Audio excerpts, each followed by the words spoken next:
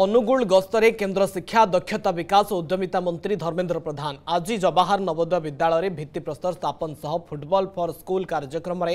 football ବଣ୍ଟନ କରିବେ କେନ୍ଦ୍ରମନ୍ତ୍ରୀ ଅପରାହ୍ନ ତିନିଟାରେ କଙ୍ଗୁଳା ବେନ୍ତପୁରରେ ହେବାକୁ ଥିବା ବିକଶିତ ଭାରତ ସଂକଳ୍ପ ଯାତ୍ରାରେ ଯୋଗ ଦେବେ ସନ୍ଧ୍ୟାରେ ନାଲ୍କୋ ଗେଷ୍ଟ ହାଉସ୍ରେ ପହଞ୍ଚି ରାତ୍ରି ଯାପନ କରିବେ ତେବେ ଗତକାଲି ପହଞ୍ଚିବା ପରେ ନାଲ୍କୋ ଅତିଥିଶାଳାରେ ରାତ୍ରି ଯାପନ କରିଥିଲେ କେନ୍ଦ୍ରମନ୍ତ୍ରୀ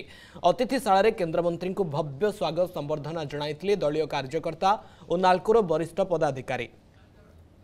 ପଚିଶ ତାରିଖରେ ଢେଙ୍କାନାଳ ଯାଇ ବିଭିନ୍ନ କାର୍ଯ୍ୟକ୍ରମରେ ଯୋଗଦେବେ ଧର୍ମେନ୍ଦ୍ର ପ୍ରଧାନ